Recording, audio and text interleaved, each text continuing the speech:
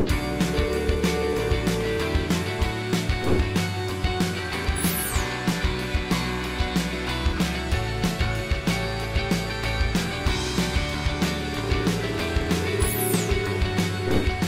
It is a very good question and it has inspired a whole research field in the last 30 years or so. And uh, this question can be addressed at least from two uh, major perspectives. Uh, one of them is the developmental perspective that is concerned with uh, what happens uh, during infancy and early childhood when actually infants and children they learn the sound categories and uh, how they are represented perceptually and how they are produced. And this question can be also addressed from a second language acquisition perspective uh, that is concerned with what happens with adults when they start to learn a, a new language. Uh, I'm going to talk about the developmental perspective, and Clara is uh, going to talk about uh, what happens with adults.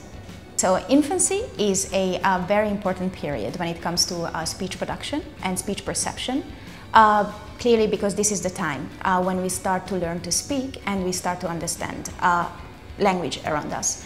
So um, in the first five, six years of life, uh, infants and uh, toddlers, they learn a lot about the uh, sound categories of their native languages. Uh, for example, by the end of the first year, uh, infants, uh, they know about all the vowels and consonants uh, that are phonemic in their native uh, language. So the first uh, year um, of an infant life really determines uh, what sound categories will be later available in adulthood.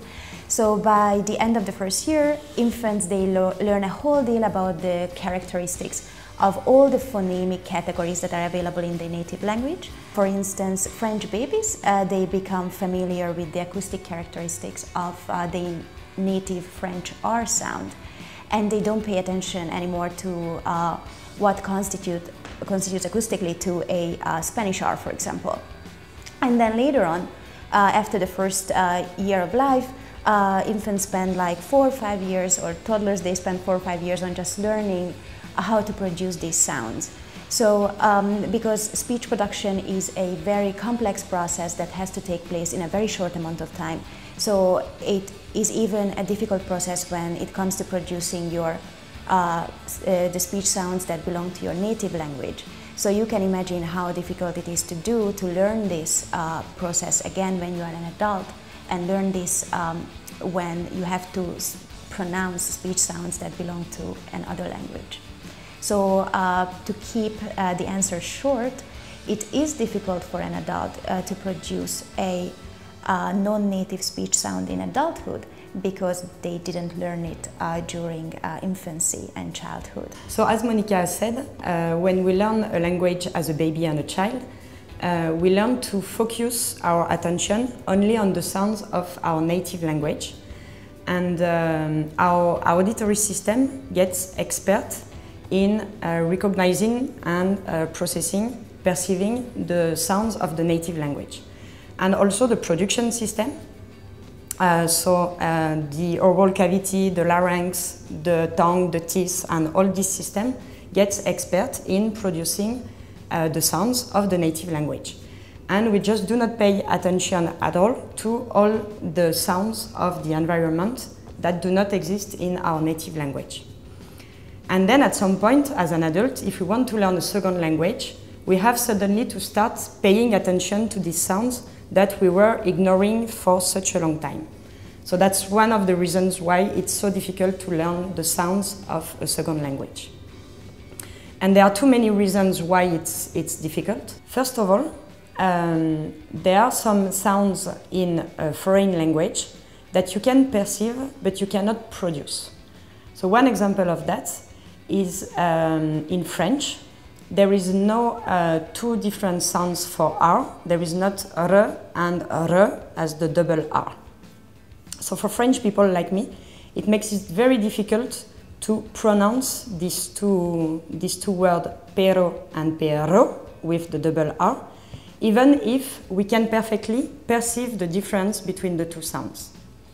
So in that case, you perceive the difference, but your brain doesn't know which is the command to be sent to the articulatory system to pronounce and produce properly the, the sound that you perceive.